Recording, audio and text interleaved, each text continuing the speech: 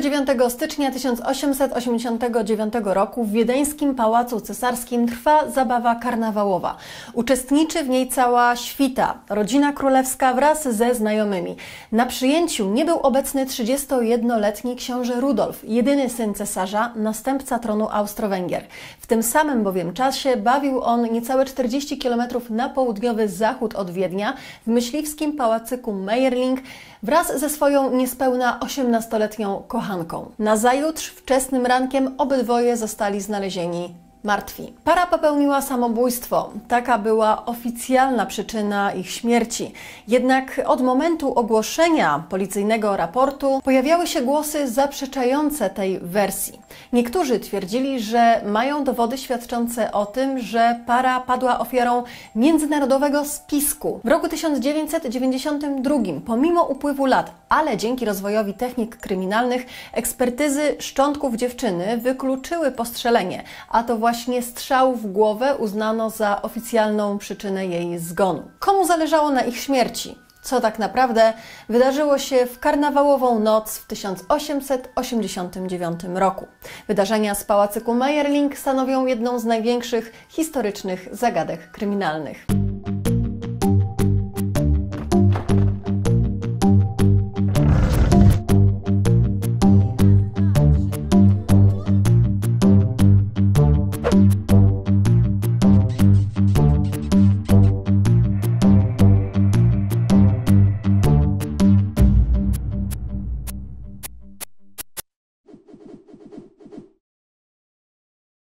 Kto mieczem wojuje, ten od miecza ginie. W przypadku Habsburgów, kto się bronią fascynuje, ten od broni ginie. Tak w skrócie można spuentować losy ostatnich Habsburgów. Najsłynniejsze było oczywiście zabójstwo Franciszka Ferdynanda 28 czerwca 1914 roku, co stanowiło bezpośrednią przyczynę wybuchu I wojny światowej. Ale gdyby nie tragedia w Meyerling, do zamachu w Sarajewie w ogóle by nie doszło, bowiem to właśnie Rudolf, jako jedyny syn Franciszka Józefa, miał być następcą tronu Austro-Węgier. Jednak z racji tego, że stało się jak się stało, kandydatem do tronu został bratanek cesarza, Franciszek Ferdynand. O Franciszku i Zofii opowiadałam w jednym z ostatnich e, odcinków. E, również e, wspomniałam tam o Rudolfie, czyli bohaterze dzisiejszego odcinka. Dlatego dziś zostaniemy w kręgu sagi Habsburgów, bo tu jeszcze sporo arcyciekawych sekretów tkwi, jak na rodzinę arcyksiążęcą przystało zresztą. Rudolf Habsburg Lotaryński urodził się 21 sierpnia 1858 roku jako pierwszy syn i trzecie dziecko dziecko cesarza Franciszka Józefa I i Elżbiety Bawarskiej, słynnej cesarzowej Sisi.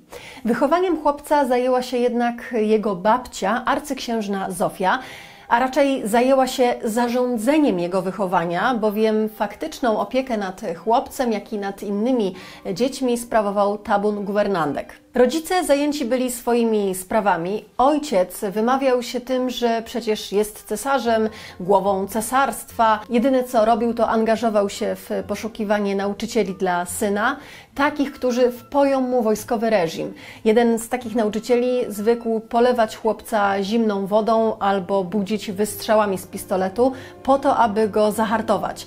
Można się jedynie domyślać, jakie ślady w psychice dziecka te praktyki tym bardziej, że Rudolf był chłopcem bardzo wrażliwym. Z kolei matka, pogrążona w hipochondrii, anoreksji, melancholii, koncentrowała się głównie na swojej urodzie. Sisi przeszła do historii jako najbardziej nieszczęśliwa cesarzowa na świecie, pomimo że miała życie jak z bajki, no, przynajmniej patrząc na to z boku. Ona z kolei czuła się w Wiedniu wyobcowana, skarżyła się, że nie dopuszczano jej całkowicie do głosu, że tak naprawdę chciałaby zająć się swoimi dziećmi, ale po prostu jej na to nie pozwalano. Dodatkowym utrapieniem były relacje Sisi ze wspomnianą arcyksiężną Zofią, czyli z teściową. No a wiadomo, z teściową jak to z teściową, różnie bywa. Zofia postrzegała Elżbietę jako rozpuszczoną dziewuchę, która sama nie wie, czego chce od życia i ma w ogóle dwie lewe ręce do wszystkiego. Z kolei mały Rudolf bardzo kochał matkę, jednak brakowało mu jej ciepła. Starał się ją naśladować by w najmniejszym chociaż stopniu zwrócić na siebie jej uwagę. Gdy dorósł, miał także takie same poglądy polityczne jak matka. Był liberałem w odróżnieniu od konserwatywnego ojca. Jedyne, czego u matki nie pochwalał, to jej zainteresowanie spirytyzmem i wszelkimi nadprzyrodzonymi zjawiskami. Niestety próby zwrócenia na siebie uwagi Sisi były bezskuteczne. Otrzeźwienie cesarzowej pod tym względem przyjdzie niestety dopiero po śmierci Rudolfa. Wówczas y, Sisi będą targać wyrzuty sumienia, że nigdy nie okazała swemu synowi uczuć takie jak jakie powinna jako matka. Być może niedostatek uczuć rodzicielskich przyczynił się do tego, że Rudolf wyrósł na mężczyznę nie stroniącego od kobiet, alkoholu i morfiny, chociaż tu można powiedzieć, e, że przykładem, no wątpliwym oczywiście przykładem, świecił mu ojciec, który również notorycznie zdradzał swoją żonę, czyli cesarzową Sisi. 10 maja 1881 roku 23-letni wówczas Rudolf ożenił się ze Stefanią Klotyldą, 17-letnią księżniczką belgijską. Mimo tego, że początkowo Rudolf zdawał się być w niej zakochany, szybko mu się Stefania Stefania odwidziała. Zdradzał ją z kim popadnie, przez co nabawił się chorób weterycznych i w końcu zaraził samą Stefanię. Ojciec bardzo krytykował zachowanie syna, no ale chciałoby się rzec przygarniał kocioł garnkowi. Z kolei matka Rudolfa, cesarzowa Sisi, miała całkowicie odmienny stosunek do małżeństwa syna. Uważała, że Stefania nie zasługuje na dołączenie do rodziny królewskiej, że w ogóle tam nie pasuje. Jako, że wygląd zewnętrzny odgrywał u Sisi pierwszorzędną rolę, nie lubiła Stefanii. Głównym powodem jej niechęci była niedostateczna, według niej, Uroda Stefanii. Zwykła o niej mówić tłusta słonica albo wielbłąd flamandzki. 12 kwietnia 1888 roku w jednym z wiedeńskich parków odbywały się wyścigi konne. Brała w nich czynny udział Maria Lariś, bratanica Sisi. Rodzina królewska przybyła więc jej kibicować. Kibicowała Marii również jej znajoma, 17-letnia także Maria Wetzera, córka jednego z baronów dyplomatów na dworze austriackim. Rudolf szybko zwrócił na nią uwagę. Spodobała mu się, a że Wetzera nie pozostawała obojętna na umizgi księcia, delikatnie mówiąc, bo siedemnastolatka tak bardzo zakochała się w Rudolfie, że gdyby był on religią, to ona by ją wyznawała, tak można spokojnie powiedzieć. Płomienny romans wisiał więc w powietrzu. Sama Maria Larisz dorzuciła do niego swoją cegiełkę, ułatwiając kochankom schadzki. Być może cały ten romans był owocem spisku Marii Larisz i cesarzowej Sisi, która, przypomnijmy, nienawidziła swojej synowej Stefanii Klotyldy, więc nic dziwnego, jeśli chciałaby podsunąć synowi inną kobietę, a tym samym pozbyć się Stefanii. To również Maria Lariś przywiozła Wetserę do pałacu Schönbrunn na potajemne spotkanie z księciem tego feralnego dnia. Następnie para udała się do pałacyku Mayerling, który to będzie teatrem dramatycznych zdarzeń. Para podobno tego samego dnia udała się jeszcze na polowanie, po czym wróciła do pokoju. Według innych relacji kochankowie byli obecni na wspomnianym na początku filmu karnawałowym przyjęciu w Schönbrunn, z którego to wymknęli się i przyjechali do Mayerling.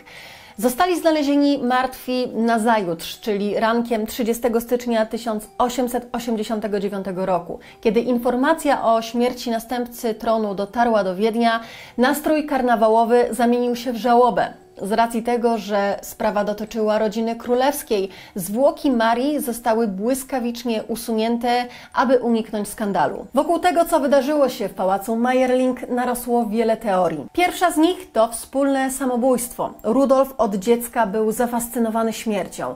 Na swoim biurku trzymał ludzką czaszkę i zawsze naładowany rewolwer.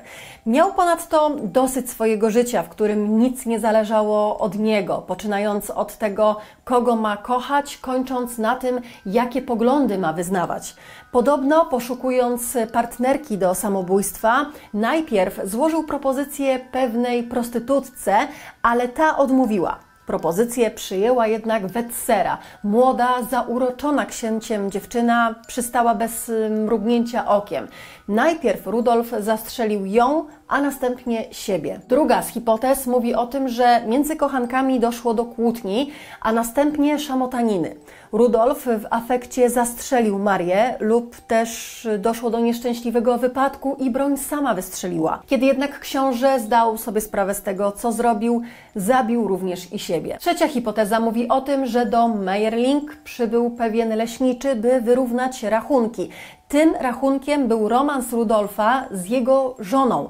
Rudolf został postrzelony, a jego ciało znalazła Maria, która z rozpaczy sama targnęła się na swoje życie. I wreszcie czwarta hipoteza, która mówi o tym, że książę padł ofiarą międzynarodowego spisku, za którym stał rząd francuski. Francuzi chcieli obalić cesarza Franciszka Józefa, który nie był im przychylny. Gdyby to się udało, Rudolf mógłby objąć tron wcześniej, nie czekając na śmierć e, swojego ojca, a Francuzi pozbyliby się uciążliwego sąsiada. Rudolf jednak odmówił. Aby sprawa nie wyszła na jaw, aby ferment się nie rozlał, zdecydowano się usunąć Rudolfa. Taką wersję opinii publicznej zdradziła Zyta Bourbon-Parmeńska, cesarzowa z rodziny Habsburgów, która znała ją od samego Franciszka Józefa, gdyż ten dowiedział się, że taki zamach był właśnie na niego planowany. Początkowo zeznań Zyty nie traktowano poważnie, gdyż nie miała na to żadnych dowodów, ale z czasem pojawili się ludzie, którzy zeznali, że widzieli, jak obcy ludzie tego dnia weszli do Meyerling. Na przełom trzeba było czekać aż 103 lata, kiedy to jeden z fanatyków tym, co stało się właśnie w pałacyku Meyerling, wykopał szczątki Marii Wetsery. Nie wiem, czy chciał je zbadać, czy w ogóle miał do tego jakiekolwiek narzędzia czy kwalifikacje. Tak czy inaczej, kiedy szczątki zostały mu odebrane, zostały poddane analizie, czy rzeczywiście są to te wykradzione szczątki. No i wtedy przy okazji wyszło na jaw, że właśnie przyczyną śmierci wcale nie było postrzelenie, ale Maria zginęła od ciosów zadanych w głowę. To co prawda jeszcze nie nadaje dostatecznej wiarygodności wersji, którą podała Zyta, ale jednak daje do myślenia, że skoro są w tej sprawie pewne nieścisłości, to musi coś być na rzeczy. Ale to nie koniec. W roku 2015 pojawiły się nowe fakty i to w miejscu zupełnie, w którym nikt by się tego nie spodziewał. Mianowicie Sylwia Link, pracująca jako archiwistka w jednym z austriackich banków, Scholler Bank, porządkując archiwa, natknęła się na skórzane etui. Okazało się, że są to listy pożegnalne Marii Wetsery. Mówi ona w nich wprost, że kocha Rudolfa i nie jest w stanie żyć bez niego, dlatego chce razem z nim dokonać największego aktu oddania i właśnie popełnić samobójstwo. Zwraca się do swojej matki, brata, mówi, że będzie się nimi opiekować y, z nieba. Obok listów znaleziono także jej akt urodzenia, akt chrztu, fotografie, dwa egzemplarze aktu zgonu. Etui zaś było opatrzone pieczęciami księcia Rudolfa. Ustalono, że dokumenty zostały w banku zdeponowane w roku 1926, jednak nie udało się ustalić tożsamości osoby, która je tam przyniosła. Znalezisko wskazuje jednak, że może faktycznie było to samobójstwo. No ale to nadal domysły. Jak było naprawdę? Tego już się nie dowiemy. Wiemy natomiast, co działo się później. Cesarzowa Sisi nie mogła darować sobie tego, że nie poświęciła synowi tyle uwagi, ile on potrzebował. Cesarz Franciszek Józef również rozpaczał, starał się jakoś odkupić błędy wychowawcze wobec syna i rozpieszczał jego jedyną córkę, czyli swoją wnuczkę, mm, którą Rudolf miał ze Stefanią, Elżbietę, zwaną zdrobniale Ersi, która w chwili śmierci ojca miała 5 lat. Z czasem jednak stracił do niej serce, gdy ta dorosła i zaczęła romansować na prawo i lewo, a po jednym kochanku, który zginął podczas I wojny światowej, nosiła żałobę jeszcze przez ponad dwa lata. Upokorzona Stefania Klotylda stała się po wydarzeniach w Meyerling niepopularna w Wiedniu. Uważano, że to ona ponosi odpowiedzialność za śmierć Rudolfa. Stefania wyszła ponownie za mąż za węgierskiego hrabiego, który to następnie został podniesiony do rangi księcia. Wcześniej była platonicznie zakochana w hrabim Arturze Potockim. Ten jednak nie zwracał na nią uwagi, więc Stefania musiała dać sobie z nim spokój. Z kolei Maria Lariś, swatka Rudolfa i Wetsery, również popadła w niełaskę właśnie po wydarzeniach w Meyerling.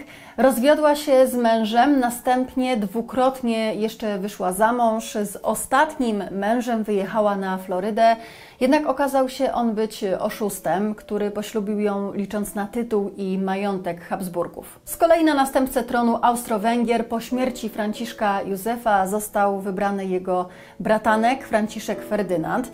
Niestety on, podobnie jak jego kuzyn Rudolf, nie zdążył na tronie zasiąść, zginął bowiem w zamachu w Sarajewie.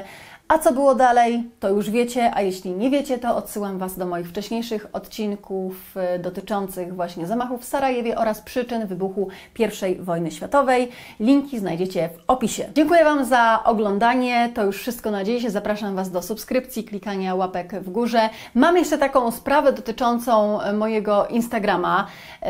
Mimo tego, że mam Instagram, to przyznam szczerze, że ja nie za bardzo korzystam z tej aplikacji i po prostu nie, jakoś nie za dobrze czuję tę aplikację. I ostatnio przez przypadek coś kliknęłam i wpadły mi w ręce y, wiadomości Wasze do mnie.